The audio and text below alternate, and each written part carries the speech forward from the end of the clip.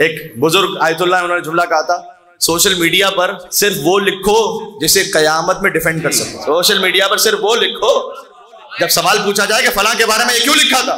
हम तो किसी मोमिन को जलील करना फ़ी सबीलिल्लाह समझते हुए एक मैसेज आया, हमने भी दस व्हाट्सएप ग्रुप में फॉरवर्ड कर दिया। बगैर सोचे समझे। अरे मेरे भाई, पहले वो बात ठीक है या नहीं? दूसरा ये कि बात भी अगर ठीक है तो इजाज़त भी है कि किसी की वो बात उसकी जो से को गलती हो गई। क्या मुझे इजाज़त है कि मैं 25 लोगों को आगे बताऊँगा? अल्लाह तआला सत्तार है। वो ऐप का छुपाने वाला है। मेरे भाई, आप भी ऐप छुपाने वाले बन जाए हदीस में आया जो किसी मोमिन का एक ऐप दुनिया में छुपाएगा, अल्लाह कयामत में उसके सत्तर ऐप छुपा देगा। आखिर क्या जमाना है?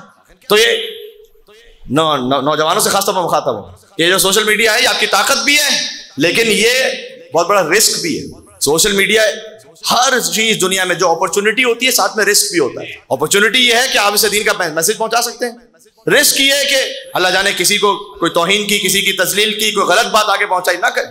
वो बात ना करें कि जैसे कयामत में दिफा ना कर सकें। बस ये आज की बात का खुलासा हो गया। इस ज़्यादा मुझे कुछ कहने की ज़रूरत नहीं है।